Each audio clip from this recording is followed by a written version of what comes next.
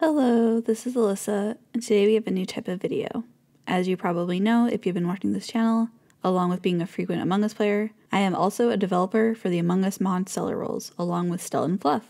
So, I thought I'd take you through the development process of a small feature. Since I play this mod several times a week with different groups, this puts me in a unique position. If I'm annoyed by something, I can usually find a way to fix it. As long as Stell and Fluff also agree. It can be very rewarding to be able to fix things that annoy you. While playing an Among Us game on Friday, I realized that I should add something to stop my own cringe behavior. Among Us has several information sources like cameras, vitals, and admin table that can be crucial to solving a game. Admin table in particular show how many people are in each room across the map. However, if you are on those information sources early, the game can be over before it's even began. The information that you can get from cams and admin table can sometimes just solve the game instantly. It's actually really scummy. I don't want to check admin table right away. That's just a habit. I should turn it off like the first round or something. We already have a feature in place for some information sources where the host can set the amount of tasks you need to do before you can use them. But right now, we don't have that feature for Skeld or Polus admin table.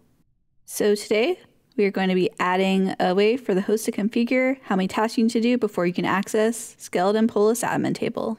This should help prevent people from camping information sources early game and encourage them to get tasks done as fast as possible. So the mission, stop people from being cringe on admin table on Polus and Skeld. We are going to do this by adding a setting where a host can set how many tasks a player has to do before they can access admin table on either map. We also want to ensure that rule only applies to alive crewmates. Imposters, neutrals, and ghosts should be able to check admin table at their leisure. When adding a new feature to any type of game, you have to make sure to test it thoroughly. We don't want to break any of the already existing functionality in Stellar Roles, as that will annoy the users. We also want to make sure the new feature works for several different in-game scenarios. So, what tests will this feature need to pass before we can say that it's complete? The feature will only be complete when it passes four tests.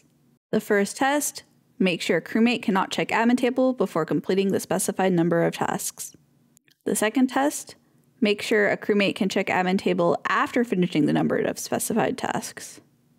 The third and fourth tests are to make sure that the ghost can check admin table whenever and also non-crewmates can check admin table at any time.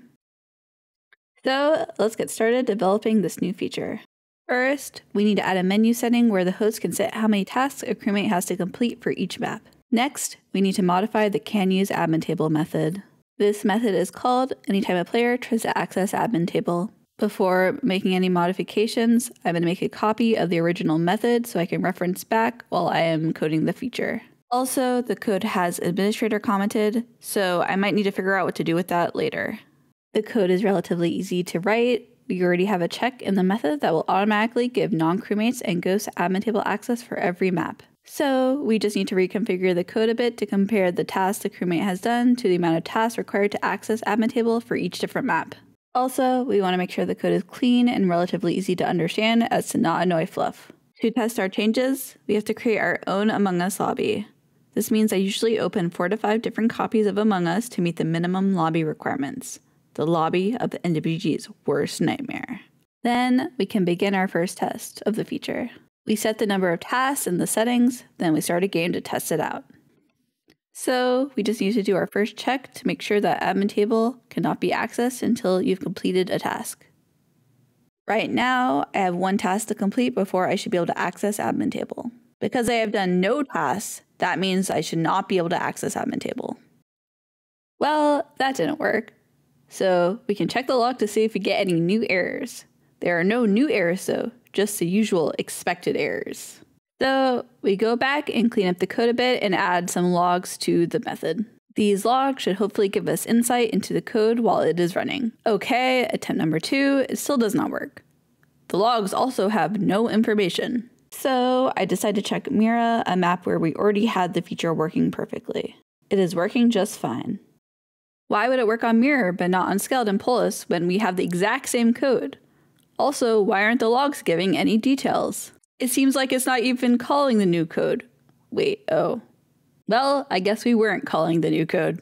We were calling the copy of the code we made as our first step. So now we can fix that and try our tests again. With no tasks done, I should not be able to access admin table.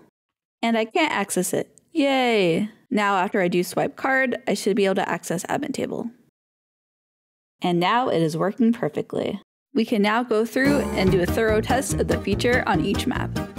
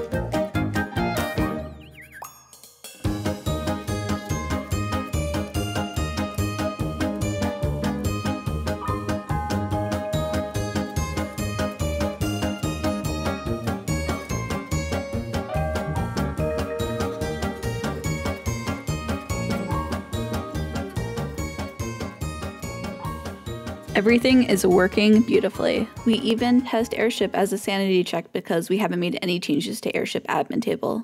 So then we can clean up the code and push it to GitHub and get Fluff to review it. But wait, remember that code comment I saw earlier that I was like, that's a future Ilyssa problem. Well, I should probably check that out to make sure I don't break anything. The mod Stellar Roles has many different roles to make the game more interesting for crewmates and imposters. The role administrator that is mentioned in the comment is a crewmate role that has access to admin table. They get time on admin table for every task they complete. So having this role affected by the task minimum is a little bit unfair because it already has anti-cringe safeguards in place. So for now, we will just make this check not apply to administrator. We do one final test to make sure that our change where the rules don't apply to administrator works, and then voila, we're done. We can push it to GitHub, and now it's Fluff's problem. Overall, this wasn't too hard of a feature to add. The whole process took me about an hour, and that's because I made some silly mistakes. It really shouldn't have taken that long. Anyway, I hope you found this video helpful, and let me know if you want to see more videos like this. I wanted to test out this style on an easier feature just so that I could make sure that it worked out before I invested a lot more time. So comment if you want to see more videos like this. Thank you for watching. I hope you enjoyed the video. Join the Stellar Roles Discord for more information about Stellar Roles. Join my Discord if you like talking about Among Us. And make sure to return tomorrow for another video and subscribe.